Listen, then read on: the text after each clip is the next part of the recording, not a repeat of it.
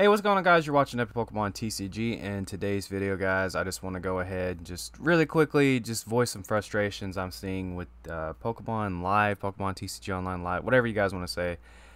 Uh, so yeah, they announced that today and already I'm seeing some things that I am just like, what the hell are y'all doing?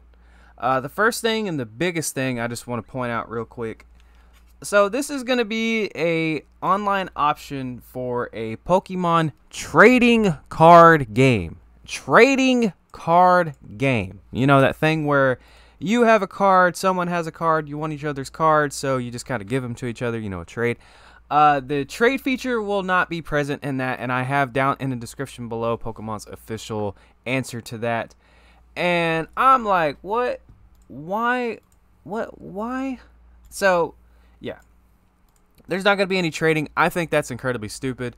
Uh, this next one isn't really necessarily a problem. It's just more or less me thinking like, all right, the community's stupid. Um, I'm seeing people complaining that they need to be putting base set on in live, which makes me just say, what? Why? That's way too many cards. Like, I think like when it drops, it's going to be just standard format. And so to me, I just am like, all right, y'all, go just just stop trying to play. Go collect the big orange overrated ass dragon. Stop trying to worry about that. And then lastly, the the big thing here, as I just get smoked.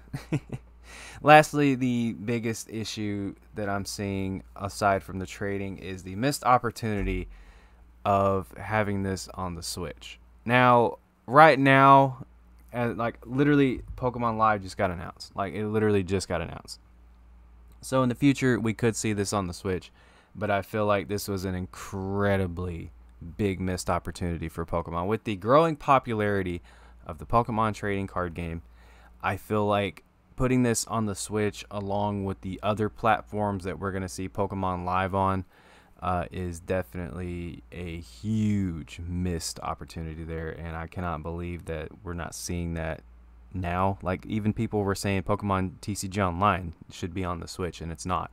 So I don't know what they're doing.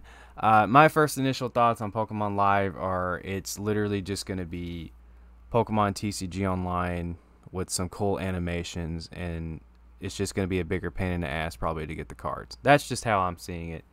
And so, yeah, my first initial thoughts on Pokemon Live. Don't forget to like, follow, and obey. Thank you.